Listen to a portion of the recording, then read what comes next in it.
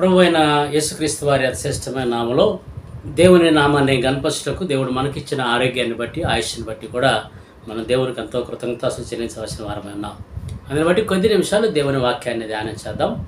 ధ్యానం చేసే ముందు గడిచిన దినంలో మనం జ్ఞాపకం చేసుకున్నాం పరిశుద్ధత అనేది దేన్ని బట్టి కలుగుతుందంటే దేవుని భయం ఉంటే తప్ప అది పరిశుద్ధత మనం చోటు చేసుకోలేము దేవుని భయం లేకపోవడం వల్ల మనం ఏం మన జీవిత విధానం ఎలా ఉందంటే స్థిర విశ్వాసం కలిగిన వారమై స్థిరత్వం కలిగిన వారమే జీవించలేకపోతాం. అస్థిరుల వలె జీవిస్తున్నాం. కనుక అస్థిరులు అంటే స్థిరత్వం లేనివారు.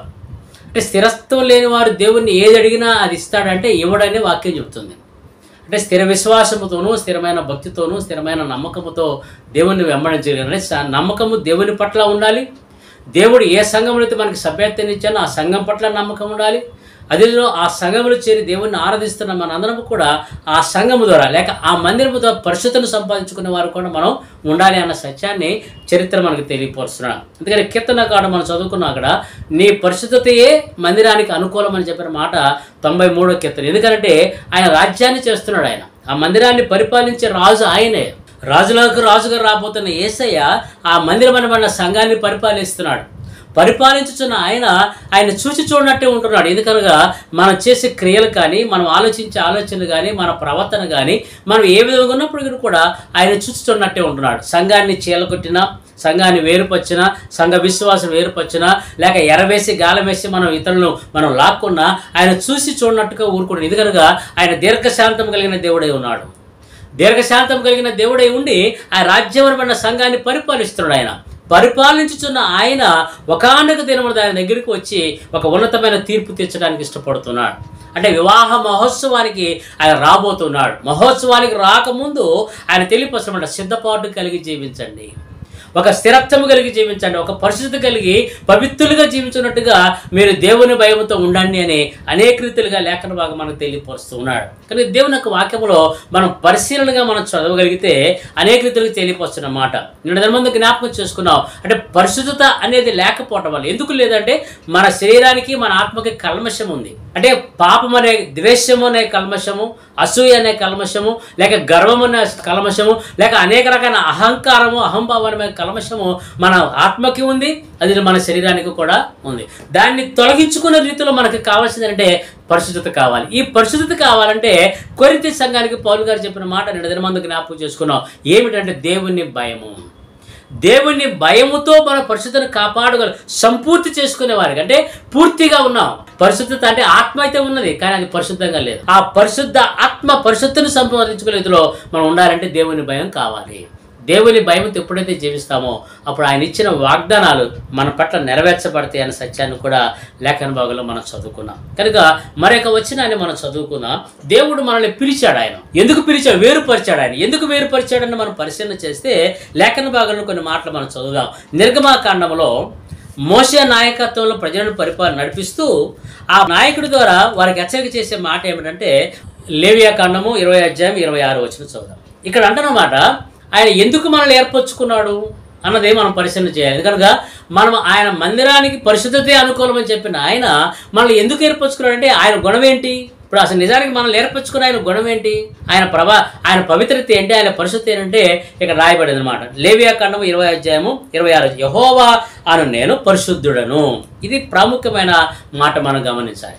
దేవుడు మనల్ని నిర్మించిన దేవుడు మనల్ని సృజించిన దేవుడు సర్వమును కలగజేసిన దేవుడు ఒక నోటి మాట ద్వారా సమస్తాన్ని కలగజేసిన దేవుడు ఆయన పరిశుద్ధుడై ఉన్నాడు. పరిశుద్ధుడై ఉన్న దేవుడు ఏమన్నాడంటే మీరు నా వారై ఉన్నట్లుగా అంటే మనం ఆయన మనుషులు వలె ఆయన సంతతి వలె ఆయన స్వాస్థ్యం వలె మనం ఉండాలంటే ఏం చేస్తున్నాడు ఆయన? మీరు ఉన్నట్లు అన్య జనుల నుండి మిమ్మల్ని వేరుపరచతని. దేవుని యొక్క వాక్యాన్ని మనం పరిశీలనగా గమనించాలేమో. ఆయన పరిశుద్ధుడై ఉన్నాడు కనుక మనం పరిశుద్ధి కలిగి జీవించాలి. పరిశుద్ధి కలిగి జీవించలేకపోవటం వల్ల ఏం కలుగుతుందంటే మనం గాలం వేస్తే మనం పారిపోతున్నాం. ఎవరు ఎరేసి గాలం చేస్తే మనం పిలుస్తుంటే ఆహ్వానిస్తుంటే మనం వెళ్ళిపోతాం. ఎరంటే నీకు అది ఇస్తాం నీకు ఇది ఇస్తాము నీకు అదొక ఇస్తాం ఇది అది ఏదంటే డైరెక్ట్గా చెప్పాలంటే పదవులే. మనకు కావాల్సిన పదవులు కావాలి. ఏమి చేసుకోవడానికి ఆ పదవులు తెలియదు లేదు పదవుల కోసం నువ్వు వెళ్ళిపోయావు. ఏమైనా సాధించగలిగావంటే ఏమీ లేదు. మళ్ళీ తిరిగి రావడమే మళ్ళీ. మళ్ళీ ఈ సంఘమే నీకు నీకు ఒక అన్ని కార్యక్రమాలు చేయాలంటే ఈ సంఘమే కావాలి. ఎందుకని నువ్వు మళ్ళా తిరిగి వచ్చావంటే తప్పిపోయిన కుమారుడు తిరిగి వచ్చినట్టుగా వచ్చి ఉండొచ్చు. కానీ దేవుడు నీ క్షమ నీ పాపాన్ని క్షమిస్తున్నాడు. నీ తప్పులు క్షమిస్తున్నాడు. ఆయన ప్రేమ కలిగిన దేవుడే ఉన్నాడు. క్షమించిన దేవుడు ఏం చేయకపోతున్నాడంటే నీవు పరిశుద్ధ కలిగి జీవించడానికి ప్రయత్నం చేయి. ఇప్పటికైనా సరే పరిశుద్ధత కలిగి జీవించడానికి నువ్వు చేయవలసిన ప్రయత్నం ఏంటంటే పరిశుద్ధత అనేది దేవుని భయముతో నువ్వు చేయాలి. మనుషుల భయంతో కాదు. మనుషులు ప్రేరేపిస్తారు. రే నీకు ఏ నీకెందుకు వాళ్ళ దగ్గరికి వెళ్తున్నా? వీళ్ళ దగ్గరికి వెళ్తారు మా దగ్గరికి వచ్చారని నీకు అది చేస్తా ఇది చేస్తా అనేక రకాలుగా వారు రౌడిజం చేసే తాకలాలు మనం చూస్తున్నాం సంఘాలలో. రౌడిజం చేస్తున్నారు. రుబాబు గ- గర్వంతో అహంకారంతో అహంభావంతో మాట్లాడుతున్న మాటలు మనసు కారణం ఏమిటంటే ఆయన పరిశుద్ధుడై ఉన్నాడని సత్యాన్ని ఎరిగి మనల్ని ఏర్పరచుకున్నాడు ఆయన. ఎందుకు ఏర్పరచుకున్నాడంటే అన్య జల్లు నుండి మిమ్మల్ని వేరుపరిచితి అన్నమాట చూస్తున్నాం. ఎందుకు వేరుపరిచాడు? అన్య జల్లుకున్న గుణగణాలు ఏంటంటే అక్కడ ఇరవై మూడో వచ్చిన మనం చదువుదాం. నేను మీ ఎదుటి నుండి వెళ్ళగొట్టుచున్న జనముల ఆచారమును బట్టి నడుచుకొనకూడదు. వారు అట్టి క్రియలన్నీ చేసేది కనుక వారి ఎందు అసహ్యపడి తిని ఇదండి దేవుని యొక్క ఉద్దేశం. మళ్ళీ ఎందుకు వేరుపరిచాడు ఆయన? చీకటి నుండి వెలుగులోనికి ఎందుకు తీసుకుని వచ్చాడు? ఇంతకుముందు అన్యలుగా ఉన్న మనం ఇంతకుముందు దూరస్తులు కూడా మనల్ని సమీపస్తులకు ఎందుకు చేసుకున్నాడు అని అంటే ఆచారపూర్వకమైన జీవితాన్ని జీవిస్తున్నాం. పారంపర్యాచారమైన జీవితాన్ని జీవిస్తున్న మనలను ఆయన ఒక పరిశుద్ధత కలిగి జీవించినట్టుగా ఆయన మనల్ని ఏర్పరచుకున్నాడు. ఎందుకు ఏర్పరచుకున్నాడు అంటే వారు చేసే ఆశ్చర్య క్రియలు బట్టి ఆయన ఏం కలిగిందంట? ఆయన అసహ్యపడి తిని అన్నమాట చూస్తున్నాం. దేవుడికి కూడా మన ప్రవర్తన బట్టి ఆయన అసహ్యపడుతున్నాడు. మన క్రియలను బట్టి మన రౌడిజాన్ని బట్టి మన అహంభావాన్ని బట్టి ఆయన అసహ్యపడుతున్నాడు. అంటే మనం ఇవన్నీ ఎవరు చేస్తారంటే దేవుని ఎరుగని ప్రజలు. దేవుని యొక్క పరిశుద్ధతను ఆయన ప్రేమను ఎరగని ప్రజలు ఆ విధంగా ప్రవర్తిస్తారన్న సత్యాన్ని లేఖన భాగాలు మనకు స్పష్టంగా తెలియపరుస్తున్నారు కానీ దేవుని వాక్యంలో నేను మీ ఎదుట నున్న నుండి వెళ్ళగొట్టుచున్న జనముల ఆచారం బట్టి నడిపి నడవకూడదు అన్నమాట. అంటే ఎందుకు వెళ్ళకొట్టాడు వారిని? వారి నుంచి మనల్ని వేరుపరచంటే అర్థం ఏంటంటే వారిని వెళ్ళకొట్టి మనల్ని సపరేట్ చేశాడు ఆయన. మనలో వారు ఉండకుండా ఆచారపూర్వకమైన జీవితాన్ని జీవించే వారిని మనలో ఉండకుండా ఆయన వేరుపరిచాడు. ఎందుకు వేరుపరిచాడంటే వారి ప్రవర్తనను బట్టి వారి నడవడికని బట్టి ఆయన అసహ్యపడను అన్నమాట లేఖన భాగంలో చూస్తున్నాం. ఆయన చెప్తూ ఆయన అక్కడ అంటున్నమాట నేను మీతో చెప్పిన మాట ఇదే మీరు వారి భూమిని స్వాస్థ్యముగా పొందుతారు అది అనగా పాలు తేలు ప్రవహించే ఆ దేశము మీకు స్వాస్థ్యముగా ఉన్నట్లు స్వాస్థ్యముగా ఉన్నట్లు దాన్ని మీకు ఇచ్చేదను. జనములో నుండి మిమ్మల్ని వేరుపరిచిన మీ దేవుడైన యహోవాను నేనే. అంటే జనములో నుండి వేరుపరిచిన ఆయన ఏం చేస్తున్నాడంటే ఒక దేశాన్ని ఇవ్వబోతున్నాడు ఆయన. అది పాలు తేలు ప్రవహించే దేశముగా ఆయనకు మనం ఇవ్వటానికి ఇష్టపడుతున్నాడు. ఎందుకు ఇష్టపడ్డాడంటే ఆచారపూర్వకమైన జీవితాన్ని జీవించే విధానం నుంచి మనం తప్పించబడినట్టుగా ఆయన స్వాస్థ్యముగా ఆయన జనులే ఉన్నట్టుగా ఆయన మనల్ని వేరుపరిచి ఏర్పరచుకున్నాడు. ఏర్పరచుకున్న ఆయన తెలియపరుస్తున్నమాట ఎందుకు ఏర్పరచుకున్నాడంటే మీకు పాలు తేలు ప్రవహించు స్వాస్థ్యముగా మీకు ఇచ్చగనన్న మాట కూడా అక్కడ లేఖన భాగంలో తెలియదు కానీ నన్ను దినమంది జ్ఞాపకం చేసుకున్నాం. ఆ దేశంలోనికి ప్రవేశపోరని లేఖన భాగం తెలియదు. ఎందుకంటే పరిశుద్ధను కోల్పోయారు మందిరానికి అనుకూలమైన జీవితాన్ని కాకుండా వారు శాస్త్రం నిర్లక్ష్యం చేశారు కనుకనే వారు దాని నుంచి కోల్పోయారన్న మాట కూడా మన సంఖ్యాకాండ ఇరవై అధ్యాయంలో మనం చదువుకున్నాం. సంఖ్యాకాండం ఇరవై అధ్యాయం పన్నెండు అంటాడు ఇస్రాయేల్ కన్నుల ఎదుట నా పరిస్థితులు సన్మానించినట్లు నన్ను నమ్మకొనక పోతిని కనుక ఈ సమాజమును నేను వారికిచ్చిన దేశంలోనికి మీరు తోడుకొని పోరని చెప్పాను. ఇక్కడేమో వారు ఆ దేశంలోనికి పోగలట్టుగా లేక ఆ పాలుతేలు దేశంలోనికి ప్రవేశించినట్టుగా ఆ దేశాన్ని స్వాస్యముకి ఉన్నట్టుగా ఇక్కడ వేరుపరుచుకున్నాడు. కానీ వేరుపరిచిన ఆయన పట్ల మన విశ్వాసం ఎలాగుందనంటే నమ్మకమైనదిగా లేదు. పరిశుద్ధత కలిగినదిగా లేదు. పవిత్రమైనదిగా లేదు. ఆయనకు అనుకూలమైనదిగా లేదు కనుకనే ఇక్కడ అంటున్నమాట. ఎందుకు లేదనంటే ఆయన పరిశుద్ధతను మనం గౌరవించగా దేవుని యొక్క ప్రేమ కూడిన ప్రేమపూర్వకమైన ఆ పరిస్థితిని కానీ లేక కృపతో కూడిన ఆ పరిస్థితిని కానీ మనం గౌరవించాలా? గౌరవించకపోవటం వల్ల మన ఇష్టానుసారమైన ఆలోచనతో మనం నడవటమే కాకుండా అనేకులు నడిపించడానికి ప్రయత్నాలు చేస్తూ ఉన్నాం. దాని ద్వారా ఆయన దగ్గర నుంచి వచ్చే ఏమిటి అని అంటే ఏ దేశాన్ని అయితే ఇవ్వాలన్నాడో ఆ దేశంలోనికి ప్రవేశించకుండా వారిని చేశాడు. మన జీవితం కూడా అంతేనమ్మా క్రైస్తవ జీవితంలో జీవిస్తున్న మనం కూడా దేవుని చేత ఆశీర్వాదకరమైన జీవితాన్ని జీవించాలన్నదే దేవుని యొక్క సంకల్పం. ఆ సంకల్పాన్ని మనం నెరవేర్చబడే వారికి ఉండాలంటే దేవుడు అయి ఉన్న పరిశుద్ధతను లేక పరిశుద్ధత కలిగిన దేవుణ్ణి మనం గౌరవించే రీతిలో మనం ఉండగలిగినట్లుగా ఆయన మనల్ని వేరుపరచడం సత్యాన్ని మనం గమనించాలి. వేరుపరిచిన ఆయన అనేక రీతిలుగా తెలియపరుస్తున్న మాట మనం గమనించాలి. ఎందుకనే పరిశుద్ధ తైలముతో దావీదిని అభిషేకించాడు. అభిషేకించిన ఆయన ఏమంటాడు? అభిషేకించ అభిషేకాన్ని పొందిన దావీదు పాపం చేసినప్పటికీ కూడా పశ్చాత్తాపంతో దేవునికి ఇష్టడుగా జీవించిన వ్యక్తిగా మనం చూస్తున్నాం. కనుక పరిశుద్ధత అనేది క్రైస్తవ జీవితానికి చాలా ప్రాముఖ్యమైనది. రెండో మాట కూడా మనం చూద్దాం. పరిశుద్ధత అనేది దేన్ని బట్టి కలుగుద్ది అంటే రెండవ కొరింథీ ఏడు ఒకటి రెండు వచనాల్లో దేవుని భయముతో పరిశుద్ధ సంపూర్తి చేసుకొని మనము పవిత్రత కలిగి జీవించినట్టుగా ఆయన మనలో ఉన్న శరీరమునకును ఆత్మకు ఉన్న కల్మషాన్ని తీసివేసుకునే వారికి మనం ఉండాలని లేఖన భాగం మనం స్పష్టంగా తెలియపరచాడు. ఏదైనా కూడా పరిశుద్ధత అనేది ఎందుకు కలిగి ఉండాలి? పరిశుద్ధత కలిగి ఉండటం వల్ల మనకు వచ్చే లాభం ఏమిటంటే ఒక వచనం చదువుదాం. దేవుని యొక్క వాక్య హెబ్రిలకు రాసిన పత్రిక పన్నెండవ అధ్యాయము పది పద్నాలుగు వచనాల్లో రాయబడిన మాటలు మనం ఒకసారి చదువుదాం. వారు కొన్ని దినముల మట్టుకు తమకిష్టం వచ్చినట్టు మనల్ని శిక్షించరు కానీ మనము తన పరిశుద్ధతలో పాలు పొందవలని మన మేలు కొరకే ఆయన శిక్షించుచున్నాడు. ఇది మొదటికి రెండవది పద్నాలుగు వచ్చిన అంటాడు. అందరితో సమాధానమును పరిశుద్ధి కలిగి ఉండుటకు ప్రయత్నించుడి. పరిశుద్ధత లేకుండా ఎవడనో ప్రభువును చూడడు. ఇది క్రైస్తవ జీవితంలో ఉన్న ప్రాముఖ్యమైన సంఘటన. లేక ప్రాముఖ్యమైన పదమైన పరిశుద్ధత. దేవుణ్ణి చూడాలంటే లేక చూడగలిగిన అనుభవం రావాలంటే లేక ఆయన మాట వినగలిగిన అనుభవంలోకి మనం రావాలంటే పరిశుద్ధత అనేది చాలా ప్రాముఖ్యం ఈ పరిశుద్ధత కలిగి జీవించినట్టుగా ఆయన ఏం చేస్తారంటే వారు కొన్ని దినముల మట్టుకు తమకు ఇష్టం వచ్చినట్టు మనల్ని శిక్షించరు కానీ మనము తన పరిశుద్ధతలో పాలు పొందవల్లని మన మేలు కొరకే ఆయన శిక్షించుచున్నాడు. అంటే ఈ శిక్ష ఈ కష్టము ఈ నష్టము ఈ బాధ ఈ బలహీనతలు ఎందుకలు ఈ ఎడబాటు ఈ వేరుపరిచే విధానం లేక జారిపోయే విధానం ఎందుకు కలుగుతుంటే పరిశుద్ధత కలిగి జీవించడానికి అన్నమాట అక్కడ రాయబడిన మాట. అందుకనే మనము తన పరిస్థితులు పాలు పొందవలని మన మేలు కొరక ఆయన శిక్షించుచున్నాడు అన్న మాట కూడా లేఖన భాగంలో మనకు స్పష్టంగా తెలియవస్తాం కనుక దేవుడి నుంచి అనేక రకాలైన శ్రమలు అనుభవిస్తున్నాం. మనం పొందుతున్న శ్రమ ఎవరు ఎవరి వల్ల కలుగుతుందంటే నీ విశ్వాసయుతమైన జీవిత విధానము ద్వారా నీవు దేవుడి నుంచి పొందే శ్రమ ఒకటైతే నీవు ఇష్టాను అంటే దురాశకు లోపడిన వాడవండి. దుఃఖ దురాశకు లోపడిన వాడవండి. నీ ఇష్టానుసారమైన జీవితాన్ని జీవిస్తున్నప్పుడు వచ్చి శ్రమ నుండి తప్పించడం దేవుని వల్ల కూడా కాదు. అలా శ్రమలు పడ్డారు ఇస్రాయేల్ ప్రజలు.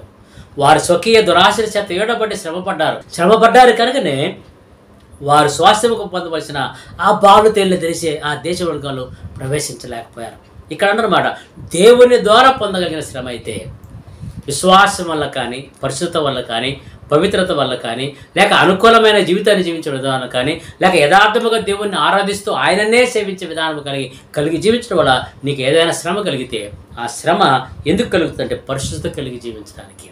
ఎందుకు పరిశుద్ధత కలిగి ఉండాలంటే అక్కడ అంటాడు అందరితో సమాధానమును పరిశుద్ధతయు కలిగి ఉండటకు ప్రయత్నించుడి. పరిశుద్ధత లేకుండా ఎవడును ప్రభువును చూడలేడు. ఇది దేవుని యొక్క సంఘం. ఆయన చూడాలన్నదే దేవుని యొక్క ఉద్దేశం. ఆయన చూడాలి ఆయన కుడిపాశ్యంలో చేరి ఆయన ఆరాధించేవారుగా కాక రాజ్య పరిపాలన చేసేవారు ఉన్నట్టుగా దేవుడు మనకు అవకాశాన్ని అధికారాన్ని ఇవ్వబోతూ ఉన్నాడు. అధికారం మనం స్వతంత్రించుకునే వారిగా మనం ఉండాలంటే లోకములో ఉన్న ప్రజల పాపులను పరిపాలించే విధానం కాదు సుమా. నీవు నిత్యరాజ్య వారసత్వాన్ని సంపాదించుకున్న నీవు లోకమును పరిపాలించే అధికారాన్ని నీకు నాకు ఇవ్వడానికి ఆయన ఇష్టపడుతూ ఉన్నాడు. ఎప్పుడనక ఆయన రాకడ వచ్చి ఎత్తబడిన సమయంలో వెయ్యేళ్ళ పరిపాలన జరిగిన తర్వాత ఏడేళ్ళ శ్రమల కాలంలో వారిని పరిపాలించే అధికారాన్ని దేవుడు మనకి ఇవ్వడానికి ఇష్టపడ ఆ పరిపాలనకి అధికారం కలిగి నువ్వు జీవించాలంటే ఎంతోమంది మానవుడు ఎరవేసేదానికి నువ్వు లో లాగిపడే లోబడేవాడిగా కాకుండా దేవుని ప్రేమకు నువ్వు లోబడగలిగితే దేవుని కృపకు నువ్వు లోబడగలిగితే దేవుడు చేసే మేలుకు లోబడగలిగితే నీవు దేవుని నుంచి అధికారాన్ని పొందే అనుభవానికి రాగలిగినట్టుగా ఆ పరిస్థితులను సంపాదించుకుంటామని వాక్యం మన స్పష్టంగా తెలియపరుస్తున్నాడు. కనుక క్రైస్తవ జీవితాన్ని జీవిస్తున్న మనలో పరిశుద్ధత అనేది ఎంతో ప్రాముఖ్యమైనది.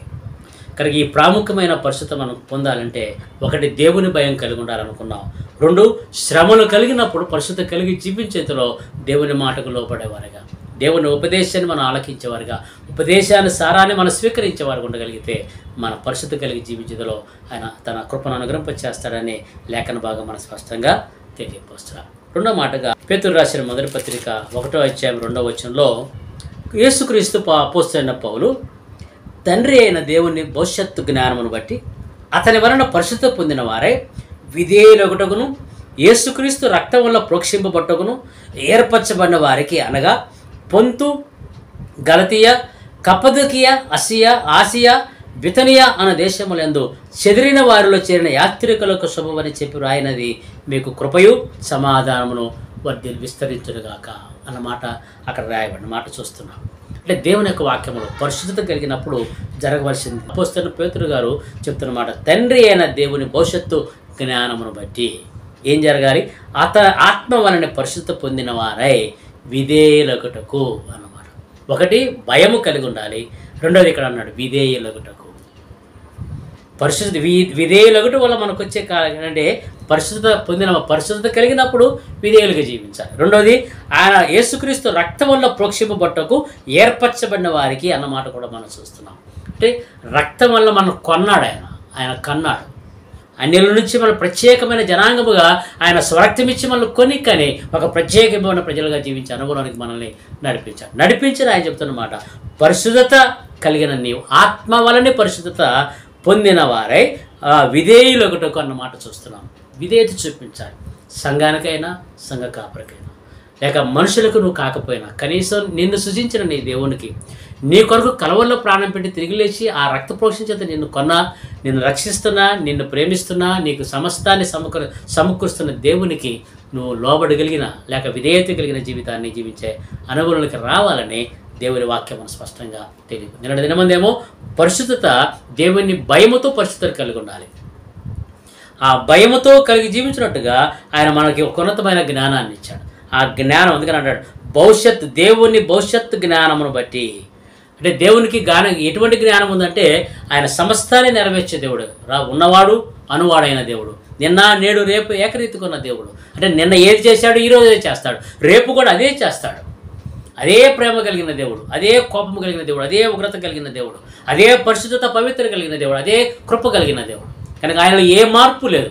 కనుక మార్పు లేని దేవుణ్ణి కలిగిన మనం ఆయన ఆత్మ వలన మనం పరిశుద్ధి కలిగి ఏమంటే విధేయులుగా ఉండాలి అన్న సత్యాన్ని లేఖన భాగం మనకి స్పష్టంగా తెలియదు విధేయత అంటే ఎందుకని విధేయత కలిగి ఉండాలంటే మనం దేవుణ్ణి చూడాలన్న ఆశ కలిగి ఉన్నాం.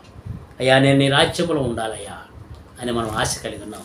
ఆశ కలిగిన మనం ఆయన చూడగలిగిన అనుభవంలోకి మనం రావాలని లేఖన భాగం మన స్పష్టంగా తెలియపోసరా అందుకనే మత్స్యవాత ఐదో అధ్యాయంలో కొండ మీద చేసిన ప్రసంగంలో యేసుప్రభు వారు మొట్టమొదటి ప్రసంగం తన శిష్యులకు బోధించిన విధానం ఏంటంటే మూడవ వచనంలో ఆత్మ విషయమై దీనిలైన వారు ధనులు పరలోక రాజ్యము అట్టివారిది అన్న మాట అని చెప్తూ ఎనిమిదవ వచనంలో అంటాడు. హృదయశుద్ధి గల వారు ధనులు వారు దేవుని చూచెదరు హృదయశుద్ధి కావాలి. మనం దేవుణ్ణి చూడాలంటే హృదయశుద్ధి దేని బట్టి కలుగుద్ది హృదయశుద్ధి అంటే దేవుని భయముతో ఈ లోకములో జీవిస్తూ దేవుని పట్ల విధేయత కలిగి జీవించగలిగిన అనుభవంలోకి మనం ఎప్పుడైతే రాగలమో అప్పుడు పరిశుద్ధత అనేది ఖచ్చితంగా మనకి కలిగి చివరిగా రోమిలకు రాసిన పత్రిక ఆరవ అధ్యాయము ఇరవై రెండవ వచ్చంలో ఆ పరిశుద్ధి గురించి ఒక మాట అంటాడు. అయినను ఇప్పుడు పాపము నుండి విమోచింపబడి దేవునికి దాసులైనందున పరిశుద్ధత కలుగుటయే మీకు ఫలము. దాని అంతము నిత్య జీవము. అంటే పరిశుద్ధత కలిగి జీవిస్తే ఏమిటి మనకు వచ్చే నిత్య జీవము? అంటే పరిశుద్ధి పొందడానికి దేవుడు ఎక్కడి నుంచి ఇచ్చాడు పాపులుగా ఉన్న మళ్ళీ అన్నమాట కూడా అక్కడ పాపము నుండి విమోచింపబడిన దేవునికి దాసులైన వారు. అంటే మనుషులకు దాసులు కాదు మనం. ఎవరైతే ప్రేరేపిస్తున్నారో గాలములు వేస్తున్నారో వారికి కాదు మనం దాసులుగా ఉండాల్సింది. అక్కడ అంటాడు ఎవరికనంటే ఇప్పుడు దారి అంత అయినను ఇప్పుడు పాపము నుండి విమోచింపబడి దేవునికి దాసులైనందున ఆ పరిస్థితి కలుగుటయే మీకు ఫలము దాని అంతము నిత్య జీవము. ఎలా అనగా పాపం వల్ల వచ్చు జీతము మరణము అయితే దేవుని కృపావరము మన ప్రభువైన యేసుక్రీస్తునందు నిత్య జీవము.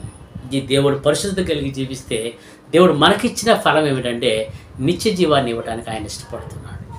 ఈ నిత్య జీవపు అనుభవంలోకి మనం రాగలనట్టుగా నిత్య జీవపు అనుభవంలోకి మనం రాగనట్టుగా ఈ లోకంలో జీవించుతున్న మనలను ఆయన ప్రత్యేకించబడిన ప్రజల వలె తీర్చిదిద్దాడు. మనల్ని వేరుపరచా అన్యుల నుంచి వేరుప ఆచారపూర్వకమైన జీవిత విధానం నుంచి మనం వేరుపరిచాడు. ఆచారం అని అంటే ఇప్పటికీ క్రైస్తవ కుటుంబాలు జరుగుతూనే ఉంటాయి. మంత్రాల దగ్గరికి వెళ్తారు తాయెత్తులు కట్టిస్తారు ఇవన్నీ చేస్తూనే ఉంటారు. ఈ కారణం ఏమిటంటే వారు మనుషులకి లోపడుతున్నారు తప్ప దేవునికి భయపడట్లా. దేవుని యందు భయముతో భక్తితో విశ్వాసంతో ఆయన వెంబడించట్ల.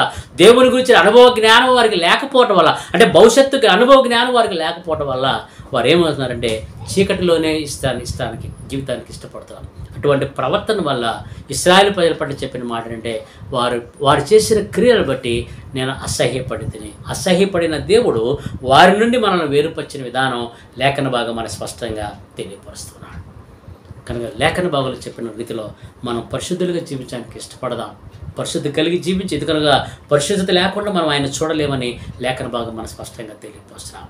కనుక దేవుని యొక్క వాక్యంలో చెప్పండి ఈ మాటలు పరిపూర్ణంగా మనం విశ్వసించాలి. నిజంగా క్రైస్తవులుగా జీవిస్తున్న మనం అనేక మంది సేవకుల ద్వారా అనేక మంది ప్రవక్తలు అనబడిన వారి ద్వారా లేఖన వాగం ప్రకటించబడుతుంది. ప్రకటించబడుతున్న వాక్యాన్ని విని బా బ్రహ్మాండంగా చెప్పాడండి అనే బదులు అయా ఈ వాక్యము నా హృదయాన్ని తాకింది. ఇదిగో ఈ వాక్యము వల్ల ఈ ఉపదేశం వల్ల నా బ్రతుకు మారిందని చెప్పగల అనుభవంలోకి మనం రాగలగాలి. బాగా చెప్పారన్నప్పుడు నీ జీవితంలో ఏం జరిగింది? ఏం మార్పు జరిగింది? బాగా చెప్పారంటానికి ఆ సమయంలో జరిగిన ఆ ఉద్యమం కాదు. లేక ఆ సమయంలో జరిగిన ఉత్సాహం కాదు నీకు కావాల్సింది. జీవితంలో జరగబోయే ఉత్సాహం నీలో కావాలి. మార్పు చెందిన అనుభవానికి రావాలి.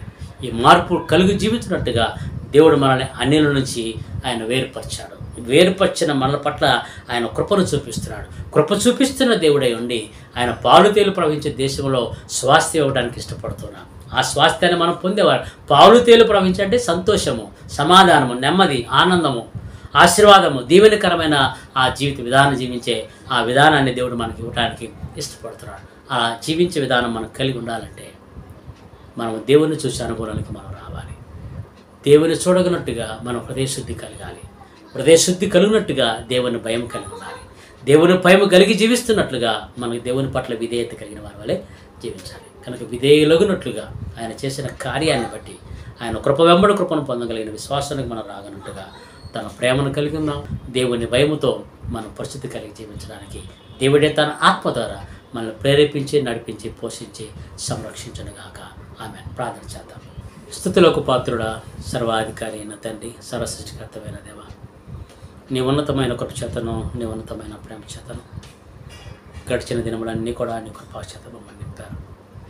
అయా వాతావరణ మార్పుల వల్ల అనేక మంది అనారోగ్యంతో బాధపడుతున్నప్పటికీ అయా తుఫాను వల్ల వర్షాల వల్ల అనేకమైన పంటలు పాడైనప్పటికీ అయా అనేక మంది రైతులనైనా అనేక రకాలైన కష్టాలు ఆ, తండ్రి మరి అనుభవిస్తున్నప్పటికీ అనేక రకాలైన కుటుంబాలనైనా మరి అతలాకుతలం తుఫాను వల్ల అతలాకుతలమైన కుటుంబాలు అయా వారి బాధల్లో దుఃఖములు ఉన్నప్పటికీ అయా వారి కుటుంబాలు మరణించిన వారినైనా వారికి ఆదరణ లేక వారు జీవిస్తున్నప్పటికీ కూడా ఈ సమయం మీరు మాకు ఇచ్చిన నడిపింపును బట్టి మీకు కొందరు తెలియజేస్తున్నాం. తండ్రి అటువంటి వారికి నువ్వు సహకరించే దేవుడు నాయన అటువంటి కష్టాల్లో ఉన్న వారిని నువ్వు ఆదుకునే దేవుడు తండ్రి. అయా దుఃఖంలో ఉన్న వారికి ఆశను ఓదార్పును కలుగు చేసే దేవుడు నీవు తప్ప ఈ లోకంలో ఎవరు లేరు నాయన. కనుక తండ్రి రైతులను మీరు జ్ఞాపకం చేసుకురండి. తుఫాను వల్ల మరణించిన కుటుంబ సభ్యులను అయా వదిలి వెళ్ళిన కుటుంబాలను మీరు జ్ఞాపకం చేసుకుని వారికి కాసిన ఆదరణ ఓదార్పు రైతులకు కాసిన ధైర్యాన్ని నీ ఆత్మచేత కలగ చేసి నీ కృపలో ధైర్యపరచమని. అయా దేశము సురు సుభిక్తముగా ఉండాలంటే అయా పంటలు బాగుగా పండేవిగా కాలైనా కనుక తండ్రి పంటలు పండిస్తున్న రైతుల కుటుంబాలు కాసిన దాని సహకారాన్ని ఆత్మచేత కలగ చేయనట్టుగా తన ఆత్మ బలాన్ని పరిశు పరిపాలిస్తున్న నాయకులకును అయ్యా దేశాన్ని రాష్ట్రాన్ని పరిపాలిస్తున్న నాయకులకు మీరు అనుగ్రహం చేస్తున్న నీ ప్రేమను బట్టి మీకు వందనాలు తెలియజేస్తున్నాం. కనుక తండ్రి ఈ వాతావరణ మార్పుల వల్ల అయ్యా మరి అనేక మంది అనేక రకాల జ్వరాలతో దలుపులతో దగ్గులతో బాధపడుచుండగా వారికి ఆ నీ రక్త పరీక్ష అనుగ్రహం చేయండి. అయ్యా నువ్వు స్వస్థపరిచే ఆహ్వానం నేను వాగ్దానం చేసే కనుక నాయన వాగ్దానం చేసిన దేవుడు నమ్మదగిన దేవుడు అని సత్యాన్ని ఎరిగి నీ నా వైపు చూడగనట్టుగా నీ కార్యం జరిగించి నీ కృప ధైర్యపరచమని అయ్యా నీ రాజ్యమును చేర్చబడిన మేము నాయన పరిశుద్ధి కలిగి జీవించేందులో నీ కృప చూపించమని నీ సన ప్రార్థన చేస్తున్నాం. అయ్యా మనుషులకు భయపడేవారు కాకుండా నీకు భయము కలిగిన వారమండి పరిశుద్ధను సొంతం చేసుకునే రీతిలో అయ్యా పరిశుద్ధి కలిగి నీ పట్ల విధేయత కలిగి జీవించేందులో నీ కృప చూపించి మీరు భయం పొందమని చెప్పబడిన వాక్యం కొట్టుకొని పోకుండా అతి జాగ్రత్తగా కాపాడగిన భయాన్ని భక్తిని నాలో మాలో స్థిరపరిచి మీరు భయం తెచ్చుకోనమని నా ప్రభువు నీ ప్రికుమైన యేసుక్రీస్తునామలో ప్రార్థించి వేడుకొచ్చున్నాను తండ్రి. ఆమె ప్రభు యేసుక్రీస్తు నామలో మీ అందరికీ నా హృదయపూర్వకమైన వందన తెలియపరుస్తున్నా. దేవుడు మిమ్మలను దీవించునుగాక. మృకముగా మరి దేవుడు మమ్మల్ని ప్రేమించిన కుమారుడు రెండు వేల ఏడు సంవత్సరం నుంచి బెంగళూరు పట్టణంలో సేవా జీవితాన్ని జీవిస్తున్నాడు. అక్కడ సంఘాన్ని మరి అద్దెకు తీసుకొని నడిపిస్తున్న మందిరం యొక్క స్థల ఏర్పాటులో మరి దేవుడు సహకరించి ఒక మంది స్థలాన్ని ఇచ్చాడు. ఆ స్థలంలో మందిర నిర్మాణం కొరకు తన వంతు సహకారం చేస్తూ మరి మీ అందరి సహకారాన్ని కూడా మరి కోరుకుంటూ మీతో కొన్ని మాటలు పంచుకొని ఆశపడుతున్నాడు కనుక. దయచేసి మీరు కూడా ఆ మాటలు విని మరి ప్రార్థనాపూర్వకమైన సహకారాన్ని దేవుడు ప్రేరేపిస్తే మీ ఆర్థిక సహాయం కూడా అందించినట్లుగా మాటలు కలిగి వినాలని దేవుని పేట తెలియపరిస్తే నా మాటలను ముగిస్తున్నాను దేవుడు మిమ్మలను దీవించి ఆశీర్వదించనుగాక. ఆమె యేసుక్రీస్తు నామములో మీ అందరికీ వందనములు. దేవుని యొక్క పిలుపును బట్టి తెలుగేతర రాష్ట్రమైన కర్ణాటకలో గడిచిన అనేక సంవత్సరం నుంచి సేవ చేయుటకు ప్రభు నడిపించిన విధానం బట్టి ప్రభును స్థుతిస్తూ ఉన్నాను. రెండు వేల పదిహేడు వరకు అనేక సంస్థలలో అనేక విధమైన పరిచయలు చేసి ఎన్నో ప్రార్థనల తర్వాత ప్రభు తెరిచిన ఒక ద్వారమును బట్టి హెబ్బగుడి అనే ప్రాంతంలో సౌత్ బెంగళూరులో మందిర పరిచర్య కొరకు దేవుడు ఒక చక్కటి ద్వారాన్ని తెరిచాడు. ఒక రెండు కుటుంబాలతోటి ఆ యొక్క మందిర పరిచర్యను ప్రారంభించి రెండు వేల పదిహేడులో తొలి దినాలలో ఈ సిటీ తెలుగు చర్చ్ అనే పేరుతో పరిచర్యను జరిగిస్తూ వచ్చాం. దేవుడు ఎంతో ఆశ్చర్యకరముగా అనేక కుటుంబాలని మందిరములో చేర్చి వచ్చాడు. తర్వాత దినాలలో పరిచర్యకు హోసేను మినిస్ట్రీస్ హోసేను తెలుగు చర్చ్ అనే పేరుతో ఈ యొక్క పరిచయను కొనసాగిస్తూ ఉన్నాం. హోసేను అనగా దేవుని నామములో ఒక నామము రూపించు దేవుడు. అనగా ఈనాడు మనం ఉన్నటువంటి జీవితాలు ఇలాగే ఉంటాయని కాదు. మన జీవితాలు నిత్యము దేవుని హస్తముల ద్వారా నూతనముగా రూపించబడాలి అనే ఉద్దేశముతో ఈ నామము నుంచి పరిచయం కొనసాగిస్తూ ఉన్నాం.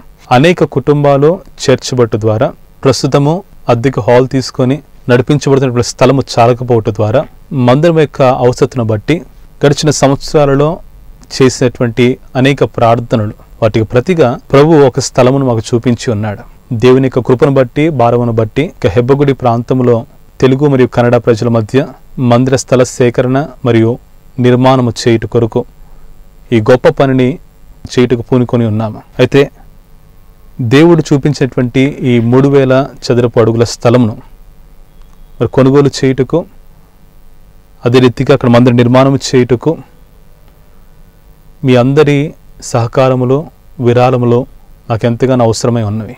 ప్రార్థనలతో దేవుని ప్రేరేపణతో ఈ యొక్క పరిచయలో పాలిభాగస్తులు కావాలని ప్రేమపూర్వకంగా కోరుకొనిచున్నాను ఒకవేళ మీరు ప్రేరేపించబడిన వారు ఎవరైనా ఉంటున్నట్లయితే అందించబడినటువంటి వివరములు సంప్రదించండి.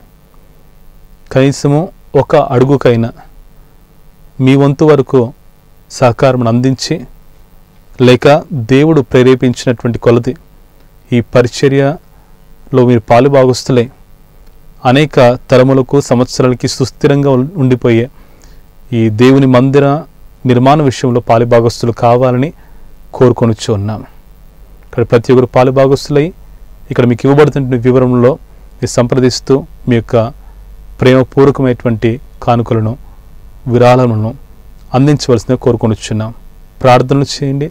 అనేకులు తెలియచేయండి. ఈ ఘన కార్యములో ప్రతి ఒక్కరు పాలిభాగస్తులు కాండి. దేవుడు మిమ్మల్ని దీవించును గాక ఆమెన్.